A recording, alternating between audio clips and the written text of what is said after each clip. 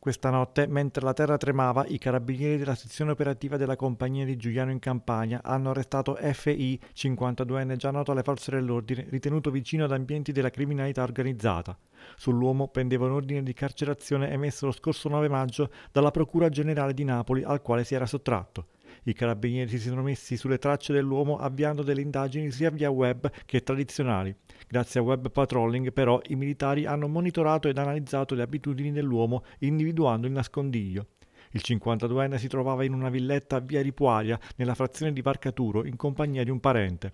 Sul lato posteriore dell'abitazione era stata predisposta una scala di fortuna per scavalcare il muro da utilizzare come via di fuga. L'arrestato è stato trasferito in carcere dove dovrà scontare la pena di 5 anni e 8 mesi di reclusione per associazione per delinquere, ricettazione e riciclaggio.